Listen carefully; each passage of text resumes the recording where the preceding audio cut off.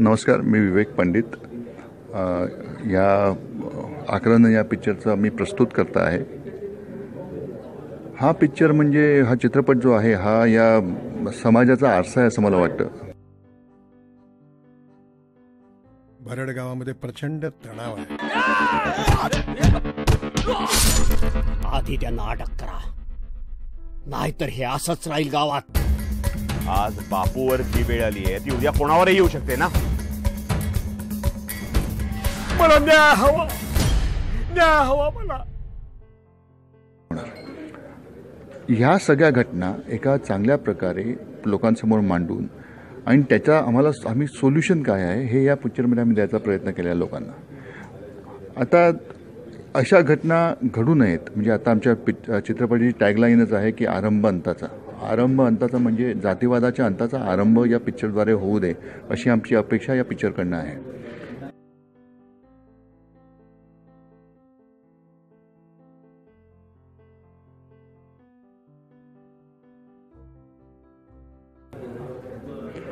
या चित्रपटाचा विषय म्हटलं तर एक छान कुटुंब असतं.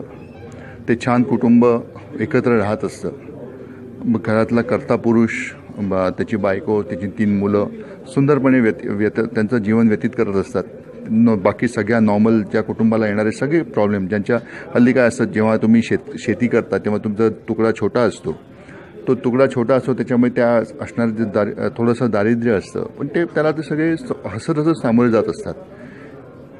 ज गावामधले जमीनदार एखादी गोष्ट जेव्हा येते एखादा रस्ता बनवत असतो त्यावेळेला स्वतःच्या हवा तसा स्वतःला हवा तसा आपली जमीन कमीत कमी जाईल असा रस्ता किंवा आपली जमीन रस्त्याच्या बाजूला येईल अशा प्रकारे जेव्हा वळवतात आणि त्यावेळेला न्यायासाठी जेव्हा एखादा गरीब माणूस झगडायला लागतो त्यावेळेला आपल्याकडे असलेली सा साधन संपत्ती आपला माज पैशाचा जो माज असतो आणि आपल्याकडे असलेली पॉवर ह्याचा उपयोग करून त्याला नामोहरम करायचं एक कारस्थान इथे रचलं जातं.